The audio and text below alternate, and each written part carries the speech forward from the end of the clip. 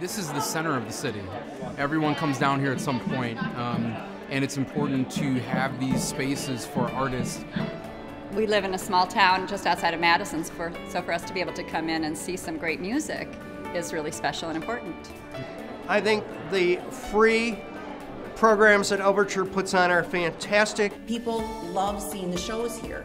My favorite part about the Overture Center is just being in here. It's just a beautiful place.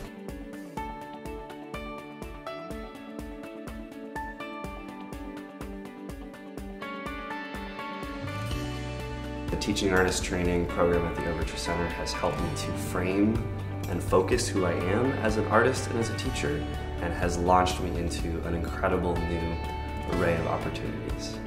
I definitely think the Tommy Awards at Overture Center has um, solidified that this can be pursued as a career, and I'm actually looking to go into this in college. It houses a lot of different companies and a lot of different types of people in groups.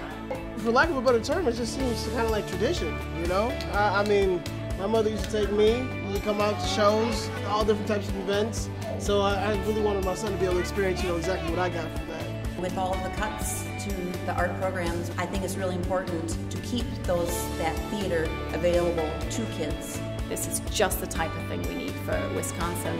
I think that that's what helps grow a, a strong, smart city. This is where people can come, you know, seeing all the kids next to each other, um, no matter what background, no matter what family they're coming from. They're just here in a space, they're together. There's just nothing like playing for a group of people that enjoys your music and dances to it. Sometimes arts aren't focused on, but I think creativity and music are something that should be a part of everyone's life. Come along and see. Come find out. Come find out what you like. Come find out what your kids engaged in. This is a place that people can call home as a city, um, and I think that's really important, uh, important for Madison.